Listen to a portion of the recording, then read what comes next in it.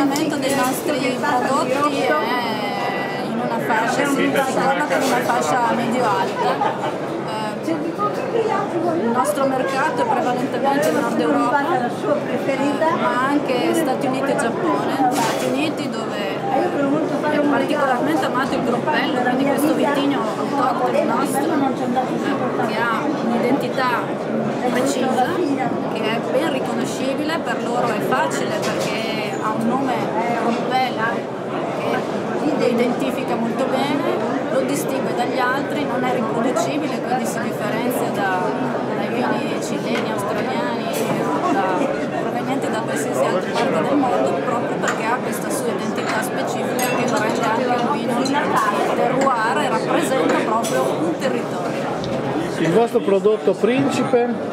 Il nostro prodotto principe è chiaramente il groppello, in particolare questo vino che si chiama Balossa, che deriva il suo nome dalla zona in cui è prodotto, è un cru, viene tutto dallo stesso vigneto, questo vigneto è in una zona che è quasi naturale dove crescono le selvatiche e una forma di vegetazione pseudo-tropicale che lo rende un, terroir, un territorio veramente speciale questo vitigno Rovello si è installato in questo territorio molto bene, si è espresso credo.